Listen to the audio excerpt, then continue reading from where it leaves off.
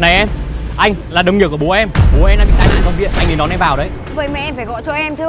Mẹ em ở trong đấy, anh đến đưa em đi Anh lừa em làm gì chứ? Có phải là bố em tên Quân, mẹ em tên Huyền Năm nay em 10 tuổi đúng không? Vâng ạ. Đúng rồi, để anh đưa em đi nhá. Đi thôi. Nếu mẹ không đến đón được thì phải gọi cho cô giáo chứ. Không ổn rồi. Nhưng mà anh gọi cho mẹ em đi. Đến rồi gọi. Đi, Nhưng mà em buồn vệ sinh. Trong lúc chờ em anh gọi cho mẹ em nhá. Đáng nhịn đi.